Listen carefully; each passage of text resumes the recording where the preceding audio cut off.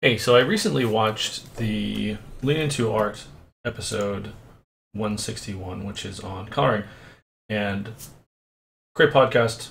Always really like it. Um, always interesting to, to hear listen to. But there's a couple things I wanted to, to mention really quickly because uh, they weren't discussed. And uh, the first one is a resource, which I think should be talked about anytime you're talking about doing anything with, with color, uh, which is this book, uh, Color and Light, uh, A Guide for the Realist Painter by James Gurney. Um, I don't make any claims to be a fantastic artist. Uh, I'm not a professional artist. Uh, I'm not a professional comic artist or anything along those lines. Uh, I just do it for fun. But you basically can't find a bad review on this book. And it talks about everything from, you know, um, different kind of lighting in different types of circumstances. Uh, it talks about, you know, basic things like core shadows and cast shadows. Uh, it talks about things like um, occlusion. It talks about things like, um, let me see, um, ambient occlusion. It talks about things like painting on a limited palette, uh, color balances, hue shifting, um, just so much stuff. Color triads. It's getting into a lot of color theory things. Um, and really, just the guy is. I mean, I'm, I'm sure you guys have all heard of, of James Gurney. He did Dinotopia. Um, he now, I think, primarily works for National Geographic and uh, teaches, but he will do just these phenomenal renderings. Um, and his use of color is just amazing. So, yeah, if you like art stuff and you don't own this book, you should buy this book or at least get it from your local public library. They usually have a copy. The other thing I wanted to talk about is layer masks uh, and using layer masks. And um, there's a bunch of different ways to go do it. You can do it in Photoshop, you can do it in a bunch of other programs. I'm going to go over this super quickly in Clip Paint Studio. And again, making zero claims as regarding you know being decent at color. So I'm just going to go ahead and create a new layer here, and I'm going to go ahead and put in some some basic, um, you know, flat colors. So uh, we've got a couple basic shapes here, and what I'm going to do is I'm just going to go ahead and do the select and fill thing uh, to get basic shapes for most of these guys. And I thought that was in there, but maybe it's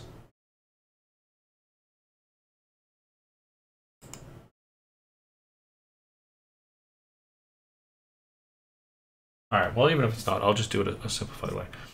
So I'm just going to go ahead and select this. Oops, it's the wrong tool. Do the lasso tool.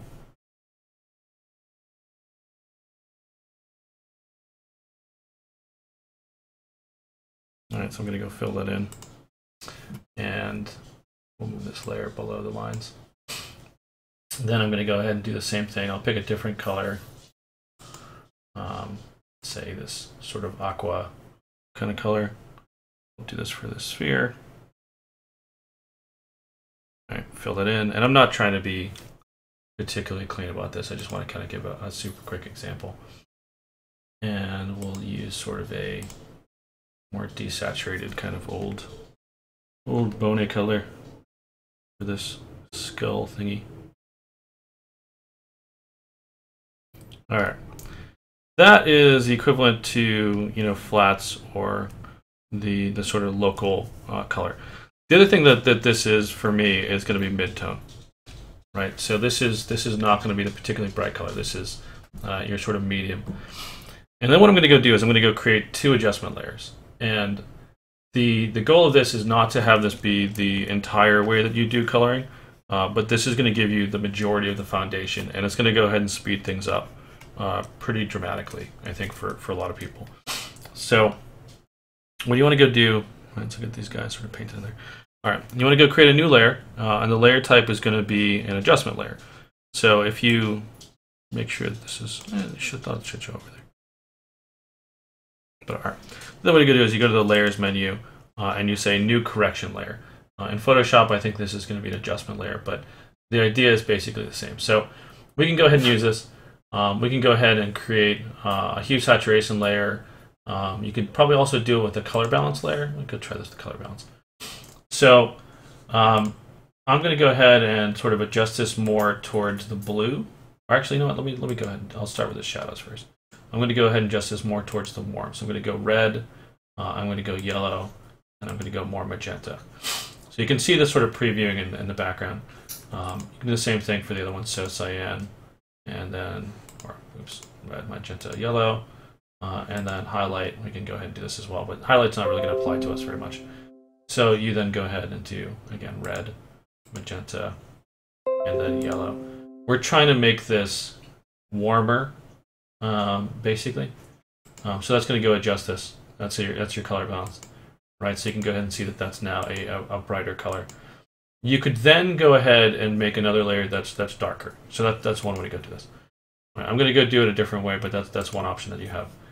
So the next thing I'm going to go ahead and do is I'm going to go ahead and create a new correction layer that's going to be uh, hue, saturation, and luminosity.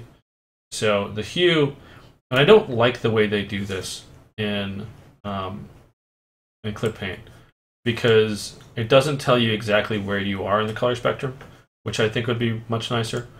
But I'm going to go ahead and say that looks warmer to me. Um, and I'm going to go ahead and make this more saturated because shadows are typically more saturated. And I'm going to take the brightness down significantly. So, um, so that's basically, this is going to give me an ambient kind of shadow. Um, it's going to be just something that I can go ahead and use. And then if you notice, this correction layer has two sections. We get the left-hand side, which is basically your normal layer, and then we have this part over here, which is a mask. So I'm going to go into this mask, I'm going to go select all, and I'm going to hit delete. And that deletes the entire selection layer. Right? And then what I can do is I can use two colors here. Right? I can use um, ba oh, basically it's it's it's a positive or a negative. It's a one or a zero. It's it's there's value or there's no value. And if there's value, that's going to go paint in the the mask, right? So that that's going to go ahead and show us the um, the, the adjustment layer. If I go paint in uh, clear, which is an option that you can go do, or I erase something, that's going to go take away the mask. So basically at this point, everything is clear. There's nothing there. So if I want to go add some shadows to this, I can go take a brush. And it doesn't matter what kind of brush you use, uh, whatever you feel like. Um, so you can go ahead and take, you know, like an oil brush or whatever your favorite brush is. Uh, and then what you do is you just make sure that this is going to be on black, and then all of a sudden you start painting in. And this is going to be that adjusted shadow layer, right? So we can go ahead and say, go paint this in here. And if you notice, the color is different. The color is adjusted for whatever the, the base color is. Now, this is pretty severe, right? This is really, really dark. Um, and it's probably not the exact color that you'd want to go ahead and use for this uh, because it's a little bit severe. But we get the basic kind of shadow stuff with this. You can put all that in. Uh, boom, boom, boom. You get your shadows. And then typically what I'll do is I'll go knock that back a lot. So I'll go ahead and just change the opacity of that layer. And then I'll go ahead and take a softer brush. So I'll go do something like uh, move over to, instead of using one of these sort of bigger brushes, I'll go ahead and use something like uh, an airbrush, right? So I can go ahead and put that in. So I'm not going to go worry about anything with you know, flatting and things like that, because all of that stuff was sort of done in that video. But you get the idea how you can go knock in some shadows really, really, really quickly.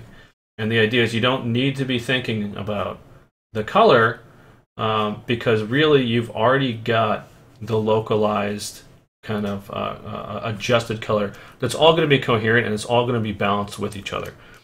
You can do the same thing for the highlights layer. So you go ahead and create a new layer, uh, and then this layer is going to be uh, a new correction layer. Again, you do hue, saturation, luminosity. And we're just going to go do the inverse. So we're going to go ahead and bump this up to a much brighter color. Uh, typically, you'll have this balance where highlights are going to be uh, cool and the, the, shadows are going to be warm or the reverse. Um, so I'm going to go change this to so it gets more bluer. So that looks more bluer to me. Uh, I'm going to decrease the saturation a little bit, and that's going to be my highlights. So again, this whole thing is now completely painted in by default uh, I can go ahead and do select all, hit delete, and that blows it away. Uh, get rid of my selection, and now I can go ahead and use one of these brushes again. Let me go pick my flat oil brush. Um, I'm going to go ahead and come in here, knock this back a little bit. And you can go ahead and see that I can now go ahead and paint in my highlights. And again, completely different colors, but it makes sense locally to whatever that was. So, you know, you can go ahead and see this as, as sort of a good way to kind of do this. Um, again, way too dramatic initially. You go knock that back a little bit, um, and the idea is that you're we're, we're starting off in a, a place that you can kind of play around with. Uh, you go over to something along the lines of an airbrush, um, and then all of a sudden we can make this a little bit more uh, reasonable. Right now, did this do all of your, you know, coloring and stuff for you? No. You probably want to come back in here and, and touch it up a bit and, and you know create another layer that's just a normal layer on top of it where you just you know paint. Uh, but the idea is that this can get you the broad strokes outline of your um, you know your coloring and do it really really really quickly. So for some things, like if this was like background elements and something. I know Lean Art basically focuses mainly on comic stuff. So if these were background elements, you're probably not spending a huge amount of time rendering them uh, in you know a painterly fashion or anything like that. This might be fine. This could be completely enough. And then you could also go ahead and do this for different light sources. So in you know, the example where you had this is sort of your ambient light, um, and then you had a different light, you know, sort of over here coming from the, the right hand side we could go create a another highlight layer, and then you could go ahead and actually that's not a highlight layer, that's just a regular layer. Uh, go up to the layers, go new correction layer, uh, hue, saturation, and luminosity, and let's say this is more yellow, right? So we could go ahead and do that. Let's say we get it's very saturated, and we can go bump the brightness, right? Again, do the same thing, delete, and then you can go ahead and come in here uh, and then pick a, a brush. Maybe this one's going to be We'll just use a pencil for this. Maybe this is like an edge, uh, an edge shot, edge light. So we can go ahead and come in here and uh, we'll go paint in a little bit of a rim lighting uh, along this, right? And the idea is, again, this is going to be correct in terms of the color that's being used for all of these objects. Might could do a little highlight with that. But. So anyway, hope that's useful. Uh, thought I would go ahead and sort of reply to that. Um, just because you know it's. I think this is a pretty common way to go do things. I see this a lot uh, with friends of mine that are, that work in sort of composite art things. Because one of the big things about this is that if you decide you want to go change the overall value of something like that, you can go ahead and adjust the hue and saturation of one of these layers, and it does everything universally. Um, you can, you know, so that's that's a bonus. Other ways of going doing this, by the way, are just to go drop in a layer that's filled with a color. Um, so you can go ahead and just create, you know, if you wanted to go do another simple version of this, let's get rid of like our shadows, for example. We could have created a new layer over here and, you know, just go pick a color. Uh, let's say, you know, we want this to be warmer. Um, so we go up here to the warm spectrum um, and we go ahead and say we're going to just go grab this sort of reddish uh, kind of color. Uh, and then we just go ahead and fill the entire thing. So we just do Control A, uh, hit our convenient little paint bucket, and uh, we can go drop this down here. Right. Obviously, that doesn't make any sense for this. But we can go ahead and change this to multiply, right? Um, and you know you can then go ahead and create a mask for this. If you go ahead and see here, we have the create layer mask. Um, actually, go to make sure I'm selected on there. Go and select all, and then do delete. And now we've got our, our layer mask there.